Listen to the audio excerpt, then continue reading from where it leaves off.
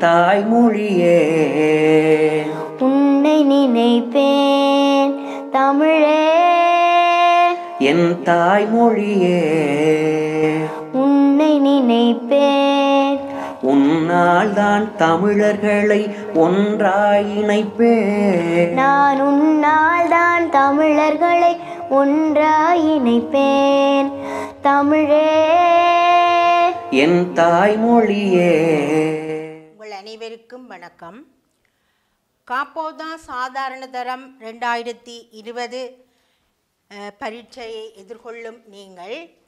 உங்களுடைய தம் தாய்மொழியாம் தமிழ் மொழியில் அதிகூடிய சித்திகளை பெற்று நல்ல நிலை பெருவேட்டினை அடைய வேண்டும் என்று சொல்லி ஆரம்பத்திலேயே உங்களை வாழ்த்தி கொண்டு எனது விடயத்துக்குள் நுழைகின்றேன். இன்று எனக்கு தரப்பட்ட விடயம் வந்து மகாபாரதத்திலே கிருஷ்ணன் தூது சருக்கம். கிருஷ்ணன் தூது சருக்கம் வந்து வேதவியாசரால் வடமொழியில் எழுதப்பட்டது. ஒரு லட்சத்து இருபதனாயிரம் ஸ்லோகங்களை உடையது.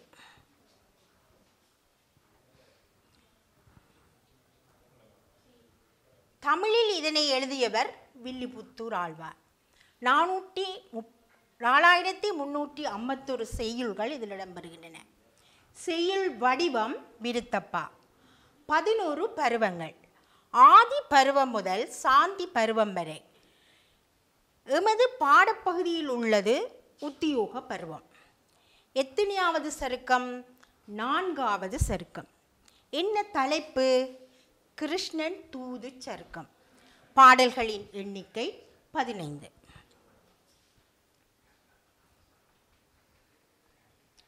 இந்த பாடப்பகுதிக்குள் நாங்கள் சென்று பார்க்கும் பொழுது கிருஷ்ணனை தூது செல்ல விடுவது தொடர்பான ஆலோசனைகளும் அதற்கு மறுதலையாக போர் செய்ய வேண்டும் என்ற விருப்பங்களும். இங்கு எங்களுக்கு அதை திட்ட தெளிவாக எடுத்து காட்டப்படுகிறது.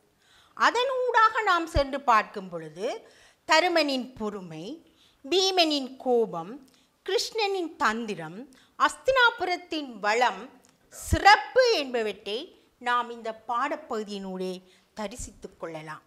உங்களுடைய பா இந்த பாடப்பகுதியில் வருகின்ற கேள்விகளும் இவற்றை அண்டியே உங்களுக்கு பெரும்பாலும் எடுக்கப்படுகின்றது.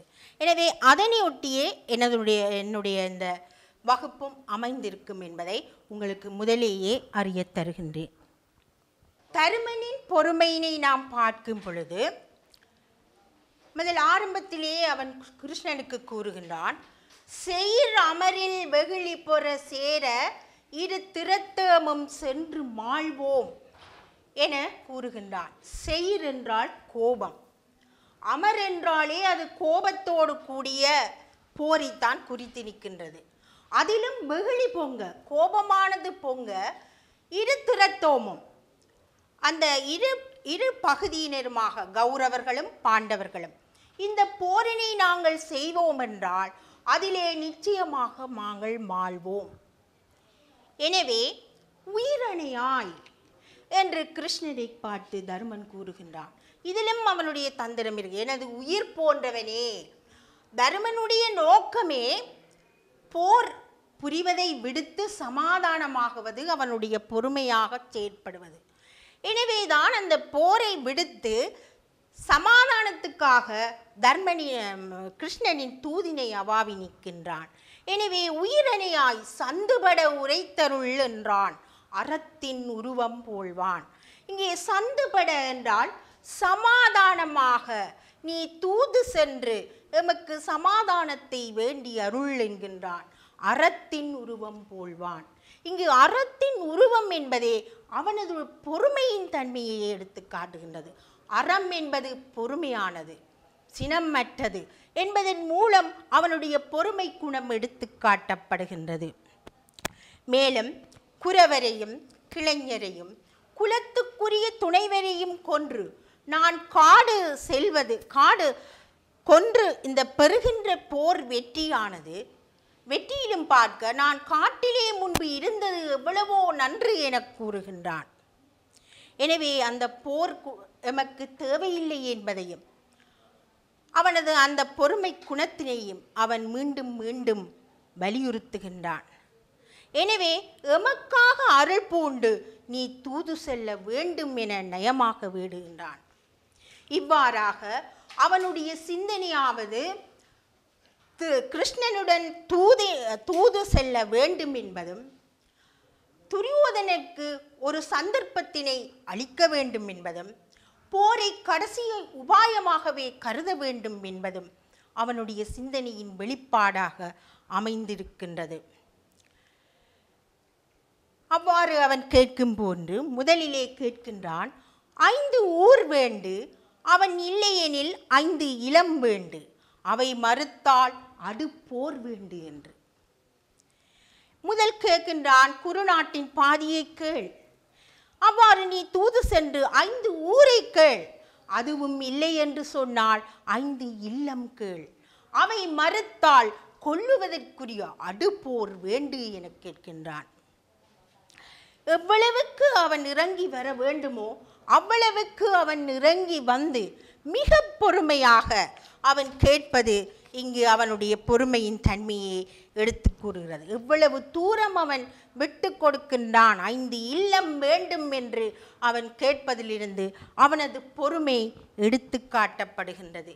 பிள்ளைகளே நீங்கள் இந்த வினாவுக்கு விடை எழுதும் பொழுது அதற்காக நீங்கள் பாடமாக்க வேண்டும் என்று அல்ல.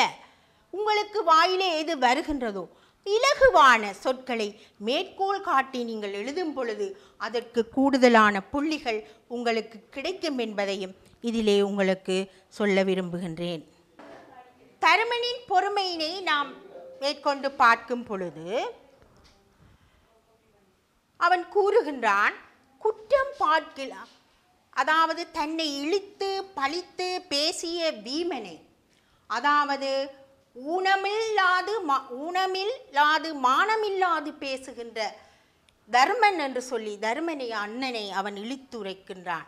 அதிலேயும் பாருங்கள் ஊனமிலான் மானமில்லாது பேசுவதற்கு என் செய்வேன் என்கின்றான்.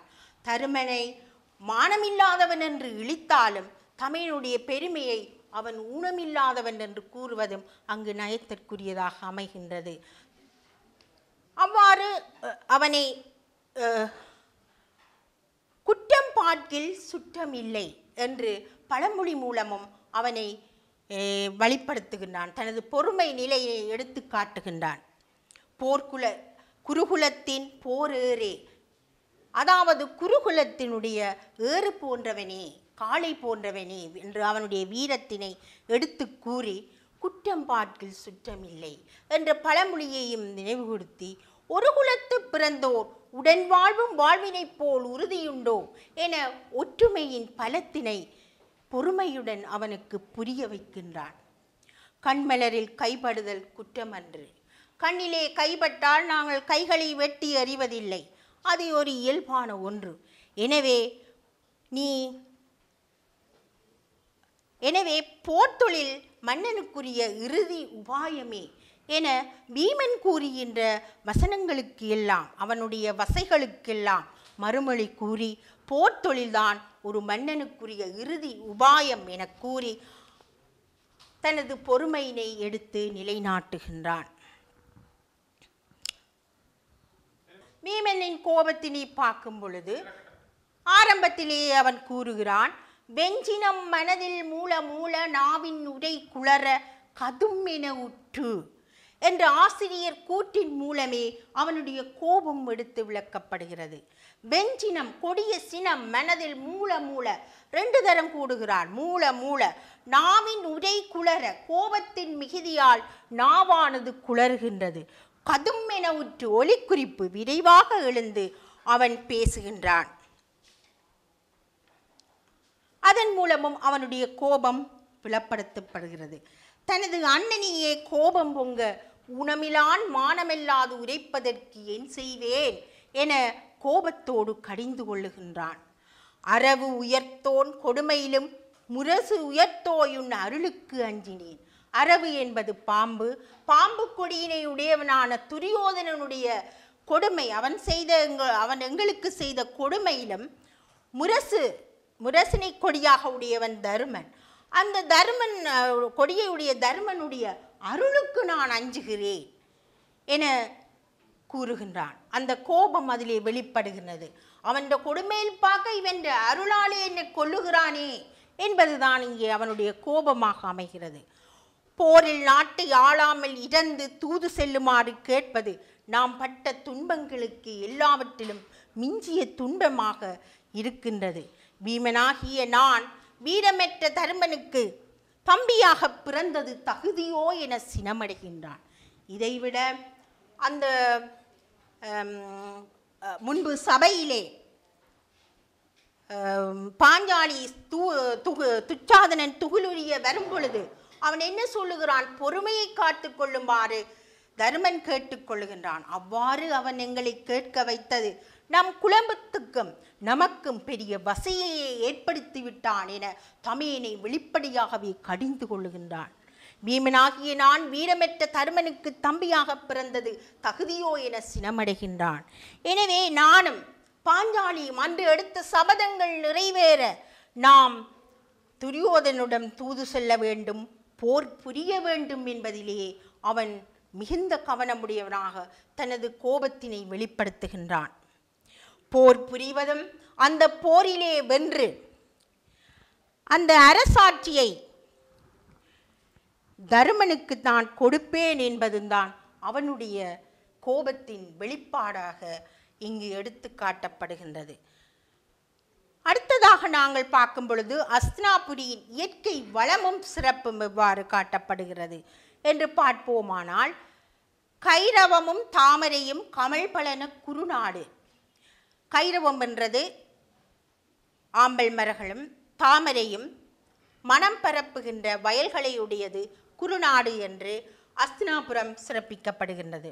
தாது ஊதி அழிமுரலும் தன்பதி மகரந்த தாதுகளை ஊதுகின்ற வண்டுகள் முரளுகின்ற ரீங்காரம் விடுகின்ற குளிர்ச்சியுடைய பதி என்று கூறப்படுகிறது.